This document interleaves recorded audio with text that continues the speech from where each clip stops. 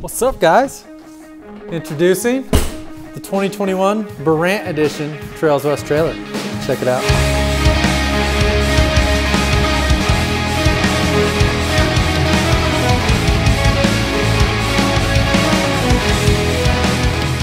These trailers just keep getting better and better each and every year. This is the 34 foot gooseneck, so 34 of floor space, 42 feet overall length. Um, you know, for me, I'm hauling lots of sleds and lots of people. So uh, this trailer for us, we haul seven a bunch. Uh, so six forward, one backwards. And then again, with seven people, that means a lot of dudes in here. So uh, we got the fold down benches all throughout the trailer. We've got three on this side, four on this side.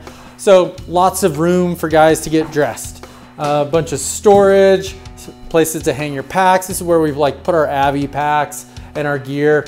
Um, pretty cool. We got uh, just stuff for like, so what I put in here, paper towels, window cleaner for my goggles and all of that stuff. More benches, storage cabinets.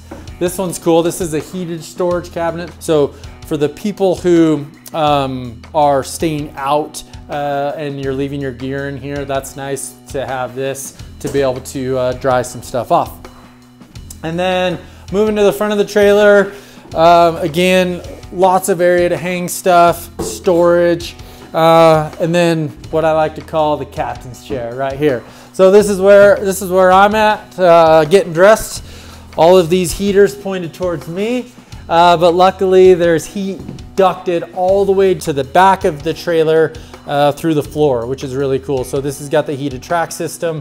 So uh, literally when uh, this will melt all the snow and ice from your sleds, so they'll be ready to go for the next morning. And then uh, it drains out the bottom.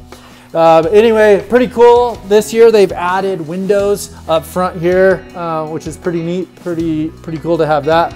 Uh, bigger, bigger area up front in the gooseneck. And then, you know, bumping system, which we all love uh, when we're getting ready. So hope you guys, uh, for those of you who have been lucky enough to get a Burandt trailer this year, I hope you enjoy it as much as I do. See ya!